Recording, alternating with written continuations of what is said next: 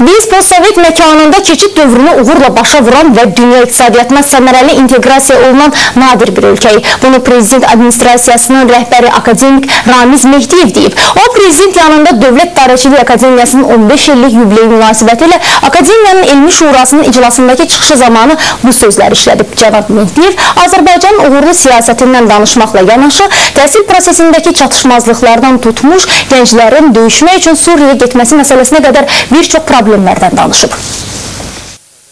Prezident administrasiyasının kadr ehtiyatı şəxsən məni administrasiya rəhbəri kimi qane etmir. Azərtacın məlumatına görə bunu Prezident administrasiyasının rəhbəri Ramiz Mehdiyev Prezident yanında Dövlət İdarəçilik Akademiyasının 15 illik yubileyi münasibəti ilə keçirilən elmi şurada deyib.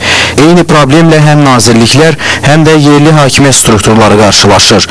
Akademik Ramiz Mehdiyev diqqəti çatdırıb ki, son illər tələbə qəbulu üzrə Dövlət Komissiyasının orta məktəblərdə keçirilən buraxılış imtahanları göstərir ki, ölkədə imtahan verə bilməyən gənclər var. Sad, 70 il bundan qabaq qalib gəldiyimiz savadsızlıq elə bil yenidən həyatımıza qayıdır.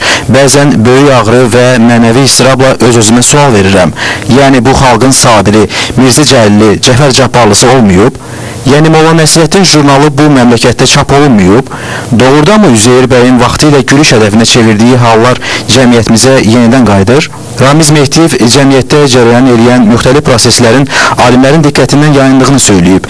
Prezident administrasiyası rəhbəri nitqində müstəqillik dövründə əldə etdiyimiz uğurlardan da danışıb.